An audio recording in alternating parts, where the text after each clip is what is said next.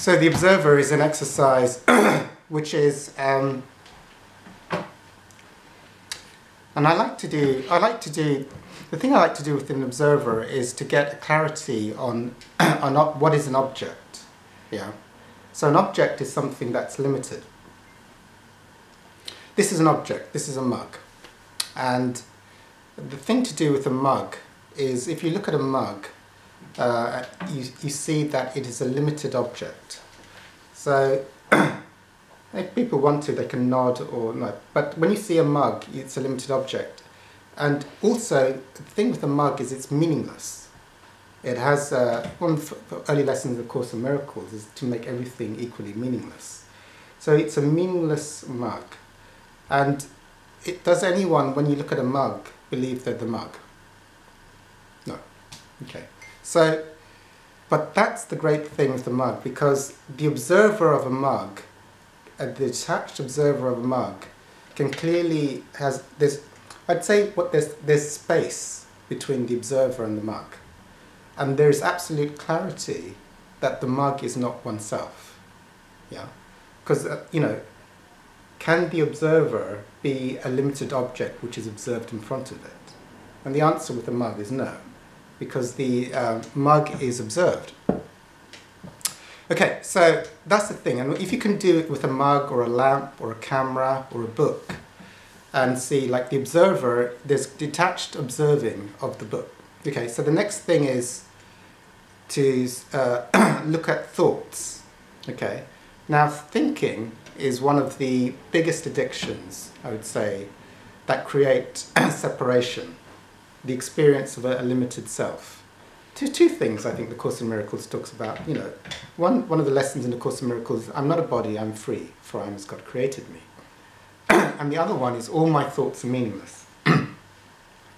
if all, well, and this is some exercise in the Course about like a conveyor belt, like watching a conveyor belt go past. So thoughts, they flit past, you know, but, the, so they're like little objects and there used to be like a, I think there used to be a, be a show with a conveyor belt and you could watch things on the conveyor belt and used to try and remember. But thoughts are a bit like little objects passing by on a conveyor belt. But what observes thoughts passing by? Is the, and is the observer of thoughts a thought?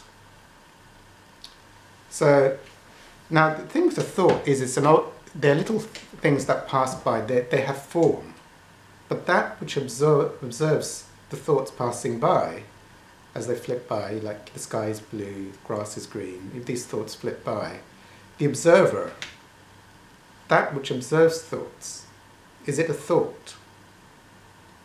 And if it was a thought, what's observing that? So this is the first thing to see, is there a detached observer of thoughts? Or am I a thought? But if you're a thought, a thought is discrete, so what's observing that? Okay, so with that, you should start to get the experience of the uh, of a detached space, witnessing, opening up, that observes thoughts. The next one is, um, is there anything in the body? I mean, is there any sensations in the body? Like, is there like tightness in the stomach? Is there, um, is there any aches or pains or anything? Well, if there are, then those are like objects. Like if there's a tightness in the stomach, that's like a ball. Or if there's a pain in the knee, well, that's also an object. It's discrete.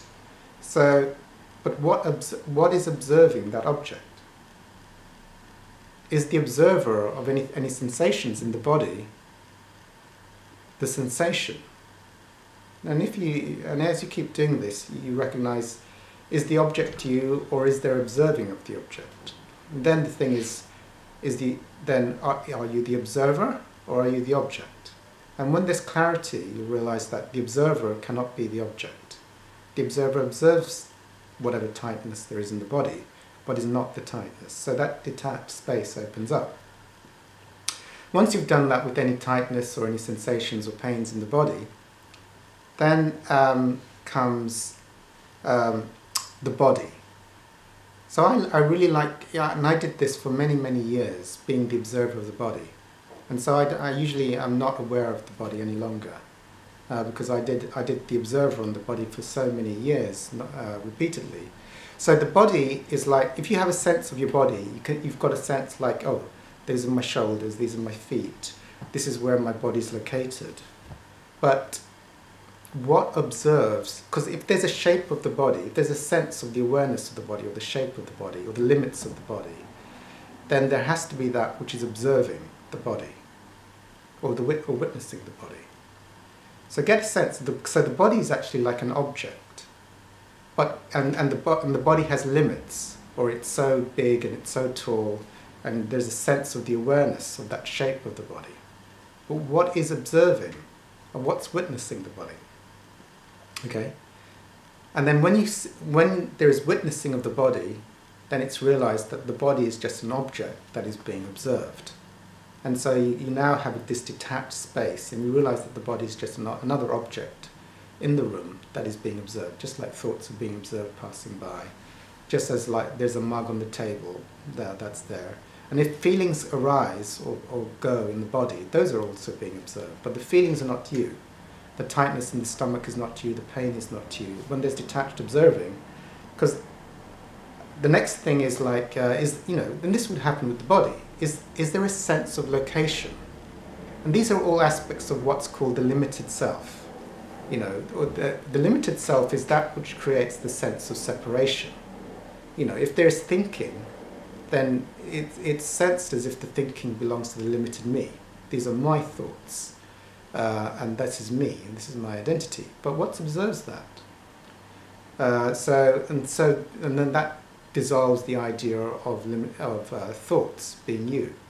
If you go to the observer of the body, then the observer of the body is not the body, and therefore the body. So all of these things tie one to a sense of a limited self. There's a limited self, the experience of a limited self which has limited personal thoughts, a limited self which has a personal body, a limited self which has personal aches and pains in the body, um, and a limited self which is located. Because if there's a sense of location, if there's any sense of location, oh, I'm located in this part of the room. But okay, so there's a sense of location, but a sense of location is an object, you know. So what observes being located here? Be the observer or the witnesser of this sense of location. I think so. In the position of watching location, does that have any location?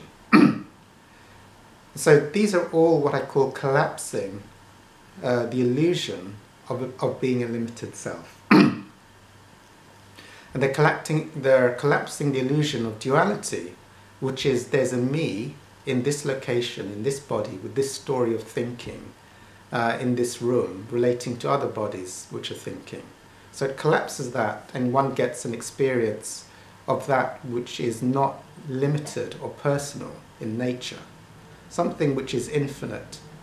Also, other things to, to be aware, like a, a part of the limited consciousness is often a sense of time.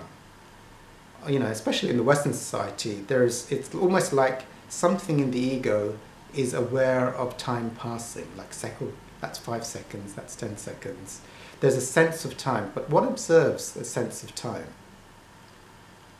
What about the witnesser of time? Be the witnesser or the detached witnesser which has no interest in time. So, in the witnessing of time or the sense of time, does time exist?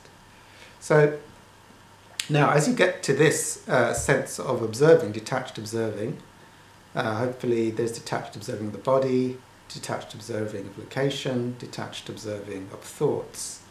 But now that one is in this space, shall we say, is there any sense of contraction, limitation, or separation still existing?